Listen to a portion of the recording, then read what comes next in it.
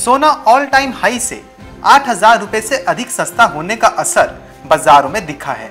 Confederation of All India Traders CAIT ने कहा है कि आभूषण उद्योग महामारी की वजह से आई मंदी से उबरा है। कैट ने एक बयान में कहा है कि धनतेरस पर देश भर में लगभग पिछहत्तर हज़ार करोड़ रुपए की बिक्री हुई। करीब करीब 15 टन सोने के आभूषणों की बिक्री हुई है। कैट ने बताया है कि इसमें सिर्फ़ और सिर्फ़ दिल्ली में 1000 करोड़ रुपए, महाराष्ट्र में करीब 1500 करोड़ रुपए, वहीं उत्तर प्रदेश में करीब 600 करोड़ रुपए की अनुमानित बिक्री शामिल है। तो वहीं दक्षिण भारत में लगभग 2000 करोड़ रुपए होने की बिक्री होने का अनुमान लगाया गया है। बता दें कि दीपावली से पहले बाजारों में धनतेरस की सकारात्मक शुरुआत हुई और कोई चमक वापस पाते हुए सोने के आभूषणों और सिक्कों की बिक्री कोविड के पहले के स्तर पर पहुँचने की ओर है। महामारी की घटती चिंताओं और मांग में तेज़ी के साथ उपभोक्ताओं की भीड़ सोने की खरीदारी के लिए दुकानों का रुख कर रही है। दुकानों में और ऑनलाइन बिक्री तेज होने के साथ सोने की कीमतों के अगस्त के करीब सत्तावन हज़ार रुपए प्रति 10 ग्राम के रिकॉर्ड स्तर की तुलना में अपेक्षाकृत नरम होने के साथ मंगलवार को खरीदारी में वृद्धि हुई। विशेष रूप से हल्के वाले सोने के उत्पादों की बिक्री में तेज़ी आई। हिंदू मान्यता के अनुसार धनतेरस को कीमती धातुओं से लेकर बर्तनों तक की खरीदारी के लिए सबसे शुभ दिन माना जाता है।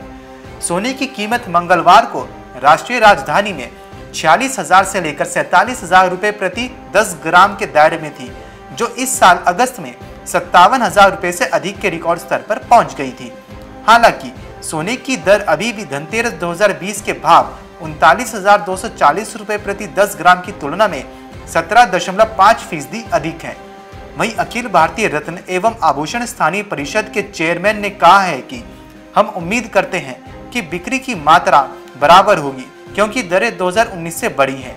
मूल्य के संदर्भ में हम 2019 के स्तर से 20 प्रतिशत की वृद्धि की उम्मीद करते हैं। आभूषणों की दुकानों में उपभोक्ताओं की बढ़ी हुई भीड़ देखी गई, जिससे ऑफलाइन खरीदारी के फिर से बढ़ने का पता चलता है।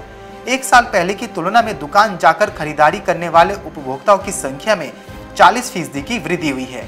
आमतौर पर धनतेरस के दिन 20 से 30 टन सोना बेचा जाता है और इस साल क्षेत्र की कंपनियों के अनुसार मात्रा थोड़ी अधिक होने की उम्मीद है।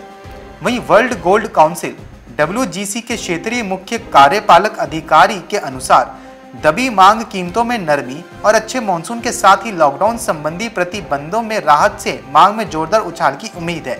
उन्होंने कहा है कि हम उम्मीद करते हैं कि ये तिमाही हाल ही के वर्षों में सबसे बेहतरीन तिमाही होगी। Bureau report market times TV.